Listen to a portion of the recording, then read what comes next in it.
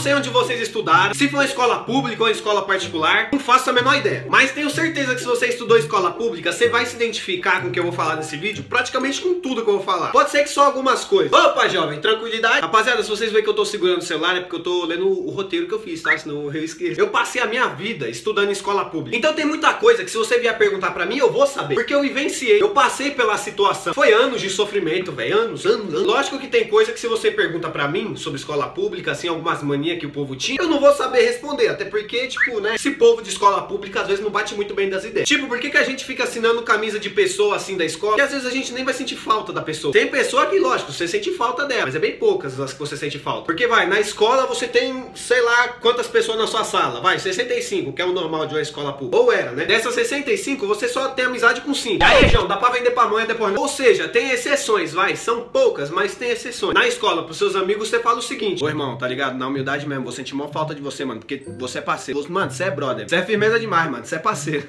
Aí depois que você sai da escola, você fica aí, vai, uns 7, 6 meses sem ver a pessoa. Isso que eu tô chutando baixo. Aí vamos supor que você vai no mercado, comprar um negócio lá. Aí no mercado você tromba quem? A pessoa que você falou que você não quer abandonar. O que, que você imagina? Não, quando eu ver assim uma pessoa que faz tempo que eu não vejo, você dá tipo um cumprimento mó sem graça, assim de longe, tá ligado? Tipo, suave. Eu já fiz isso, mas eu não entendo. Eu não entendo as coisas dessas, mas eu já fiz isso. Tem uma coisa que acontecia bastante. E na escola, isso era tipo bater um ponto no trabalho, tá ligado? Quando você chega, bota sua digital lá, ou sei lá, tinha um papelzinho registrando que você tá indo pro seu trabalho. Era tipo isso. A pessoa da sua sala, ela não podia ir no banheiro, tá indo na diretoria, não podia ir lá olhar como é que tava os sei lá, não podia nem ir pra porta da sala só olhar pra ver se tá chovendo, não podia sair da sala pra nada, que quando você voltava, era certeza que... Professor, voltei.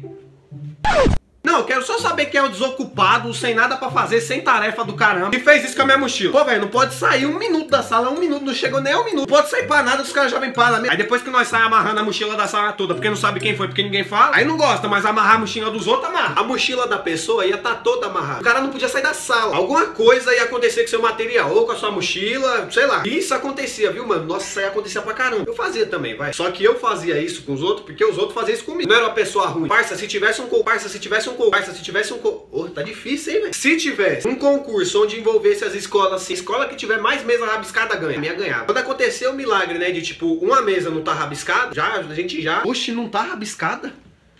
É nova. Certeza que é nova. Ô, pessoal, mesa nova aqui, ó. Certeza que é nova. nova. A mesa só não ia estar tá rabiscada se ela fosse nova. Como os caras não aguentavam ver nada que não tivesse rabiscado, passava ali a caneta. Na minha escola eu já vi cada ano. Na época que começou a ter aquelas lousas que não era mais de giz, era tipo, você escrever agora de canetão. Como os caras da minha sala não aguentavam ver nada novo na sala, assim que trocou o sinal pra trocar de professor, o moleque lá já pegou a caneta. E aí, região, finge que é os canetão de lousa, viu? Agora que o professor saiu, eu vou logo zoar a lousa ali, João. Você vai ver. Aí o moleque pegou, escreveu lá umas palavras, né, que eu não vou citar aqui no vídeo. Na hora que esse moleque tava escrevendo, o professor começou a aparecer ali no final final do corredor. Aí os moleques já pegou e já falou pro moleque que tava escrevendo, vixe, mano, ele tá vindo, ó, melhor separar. Aí os moleques sentou lá, cada um em seu lugar, o professor olhou pra lousa. Eu posso saber quem escreveu essa baixaria aqui na lousa? Eu posso saber? Alguém vai me contar? Aí o professor puto na hora pegou e falou: Vocês querem saber de uma coisa? Eu não vou nem apagar, eu vou deixar aqui pra diretora ver.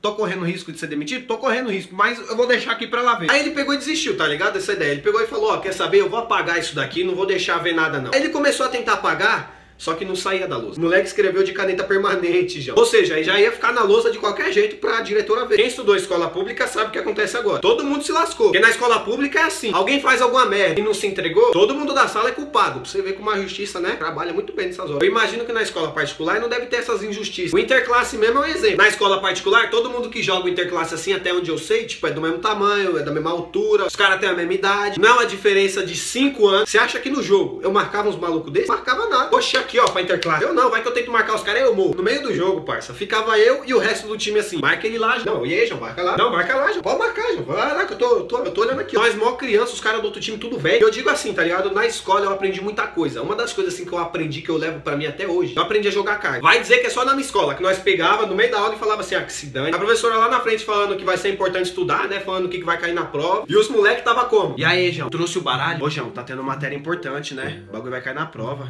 Eu trouxe. Vamos jogar? Maluco, tinha até próximo. Você não tá ligado. Quando acabava uma partida, a professora explicando lá na frente sobre a matéria, lá atrás. E aí, João, tá ligado que já acabou, né? Tô de próximo aqui, agora é minha vez. É que eu, na época da escola, eu não era muito sociável. Não aprendi muita coisa na escola, não, mas jogar truque eu sei. Tô zoando, rapaziada, né? Aprendi sim. Joguei muito Uno lá também. Véi, nós metíamos o louco demais. Na nossa sala, não podia apagar uma lâmpada que nós já Ih, ó, acabou a luz. Professor, não tô enxergando nada, não. O que, que tá escrito naquela linha ali? Nossa, tô vendo nada. Ali é um A. Ali, oxe, ali é um A. Ali, aquilo ali é um A. Vixe, mano, não dá pra ver nada. O senhor tem certeza que quer continuar essa aula? Depois que acabar essa aula aqui, eu vou precisar de óculos. A culpa vai ser sua. Se eu precisar de óculos, a culpa é sua. O senhor quer continuar essa aula, não dá pra ver nada. Quando acabava a luz na sala, a gente já falava isso. Por quê? Pra gente ir embora mais cedo, né? Simplesmente por isso. Você quer ver uma sala ficar unida? Deixa a luz acabar pra você ver. O povo bem assim. Nossa, mano, tô enxergando nada, ó. E aí, João, fala que você não tá enxergando nada também. Só que na sua sala sempre tem, né, mano? Uns infelizes, uns que querem estragar. Os caras não colaboravam. Os caras aqui, ó, tentando fazer o professor acreditar que não tá enxergando nada. E aí, João, para, ó, dá pra ver sim, ó. E aí, João, você tá metendo louco. Isso que a gente estudava de tarde. Tipo, de tarde ainda tava meio claro na minha escola. Tava pra ver suave. E por incrível que pareça, tinha professor que acreditava. Mano, nós não prestava. O que tinha bastante assim na minha sala também era briga. Se não tivesse isso nesse vídeo, tava errado. Eu não me envolvia muito, até porque se eu fosse separar, era capaz de eu apanhar junto com a pessoa. Mas eu não compactuava com essas coisas não. Só teve uma vez que eu ri. Eu ri, eu ri, velho. Vai, já teve mais vezes que eu ri, mas teve uma vez que eu rachei. Não teve como. Pra começar, naquele dia os moleques se desentenderam. Quando os caras se desentendem, na maioria das vezes, não acontece nada. E alguns malucos só falam. Aí nesse dia, um amigo meu tava tretando com o moleque. Ah, tava demorando pra atrapalhar, ó, ó.